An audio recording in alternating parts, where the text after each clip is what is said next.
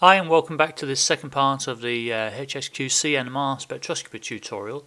In this particular tutorial we're going to have a look at the tripeptide that was used in the NOESY uh, NMR spectroscopy tutorial. I find this, uh, this is a more realistic example uh, if you're working in a laboratory.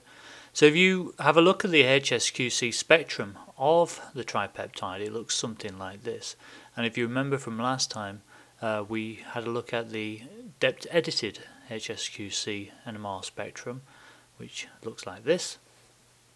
So although it's identical in most respects to the HSQC, the DEPT edited HSQC now has phase associated with it. So if you look on the spectrum you see some blue peaks in this case indicating the CH2s and the CH3s and CHs are now represented as having red peaks. As mentioned in the previous tutorial that's completely arbitrary, it's um, entirely up to you what colours you choose uh, to represent the positive and negative peaks.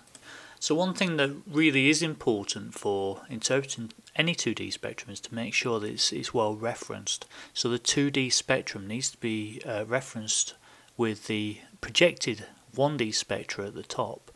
So what I've done here, I've just clicked and dragged it, but in your NMR uh, package, your software package, you'll be able to um, type in a command, uh, for example SR or something like that for source reference, and you'll be able to then uh, set the reference according to the chemical shift difference in your 1D spectra.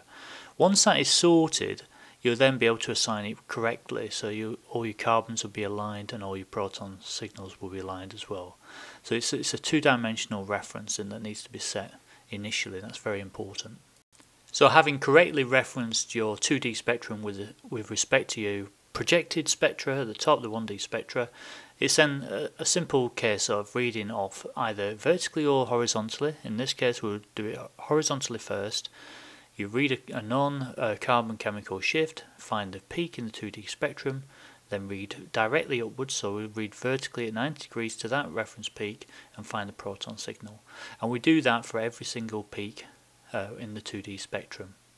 So if I quickly speed up the video here, you can see how my mind works. I will read across the carbon which I've assigned, and then once I've got all the horizontal lines in, I'll then find the vertical corresponding peak in the proton spectrum. And I might do this in reverse, I might, I might already know the proton chemical shifts and then assign the carbons associated with those protons in a similar manner.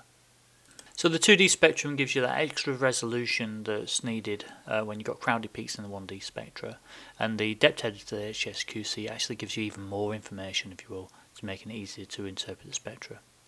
Now I've not gone into much detail interpreting this particular HSQC NMR spectrum because I thought I'd put the spectrum up on Epistemeo so you could have a go yourself.